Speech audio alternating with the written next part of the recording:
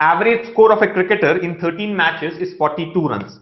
If the average score in the first five matches be 54 runs, what is the average score in the last eight matches?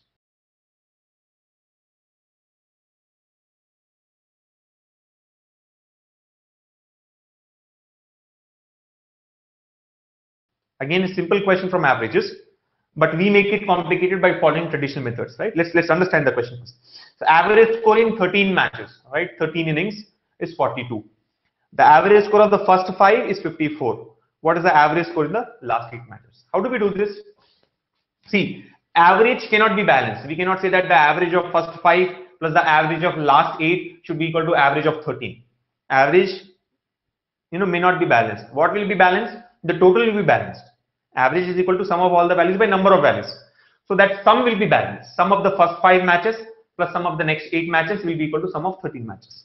So sum of first five matches plus sum of the last eight matches will be equal to sum of 13 matches. That's the proper equation. What is the sum of first five matches? I know that the average score of first five is 54. Average is 54. Sum will be equal to what? 54 into 5. Yes or no? Average is equal to sum by the number of values there. So how do you get the sum? Sum can be taken as average into the number of values. So average is 54 into 5. Number of values 5 because first 5 matches. So sum of the first 5 matches is 54 into 5 plus sum of the 8 matches we need to calculate equals to sum of the 13 matches. The average of all the 13 matches is 42. So this can be taken as 42 into 30. Simplified 54 into 5, 270 half into 10, right? 270 plus sum of the 8 matches equals to 42 into 13. So 420 plus 42 into 3, 126. So 420 plus 120, 540, 540 plus 6, 546. The sum of the 8 matches will be equal to 546 minus 270. So it will be 276. Now what do we need?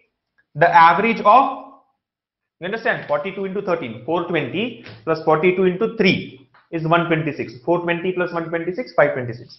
And 54 in 546. And 54 into 5. Half of 54 is 27 into 10, 270. So 276. Now what do we have to calculate here? The average score of the last 8 matches. How do we get the average? Average will be equal to sum by number of values. So 276 by 8. Simplify 276 by 8. How much do you get? 276 by 8. 30 times 240. Left out is 36. 4 times 32. Left out is 4. 4 is half of 8. So 30 times plus 4 times plus 0.5 times. 34.5. If you do not understand the calculation here, practice. There's, there's no other shortcut. So average is 34.5 for the last 8 matches, which is option 2. But let's understand a smarter way of getting the answer. Of course, this is also easy, not difficult. Maybe I have put more number of steps. You can directly get uh, this value in about two steps, right? You don't have to write all this, all these things here. You can directly take 270 plus this equals to 546. Sum can be calculated and divide by 8 to get the average. But what's the other, other way of getting the answer here? See, understand.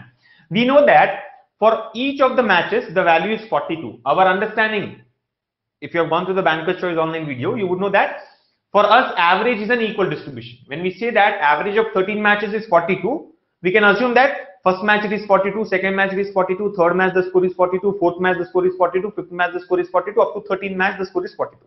Though in the real case, it may not be this, right? It may be varying from match to match, but we are taking it as an equal distribution. So every match it should be 42. But what happened? Let me just clear this.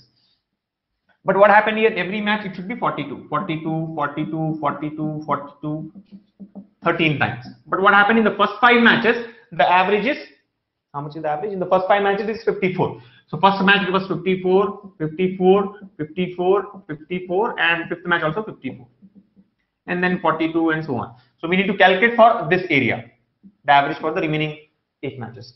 Now if you look at it, in the first five matches, it should actually be 42 but in this case it is 54. So how much more? 42 and 54, 12 more. 12 more in first match, 12 runs more in second match, 12 runs more in third match, 12 in fourth match, 12 more in fifth match. So total how much is the extra? 12 into 5, 60 extra. Are you able to follow? Total 60 is already extra in the first five matches. See, this is like balancing your monthly budget. If you have already spent, you know, something more on one of the areas, you have to reduce your expenditure on the other part. So something like that. So I have already spent 60 more here. So I should reduce my expenditure by 60 or reduce my total by 60 here, right? So actually it should be 42, but I'll decrease it by 60. This 60 should be distributed equally among the remaining eight matches. Are you able to follow? So this is plus 60 here, it will be minus 60.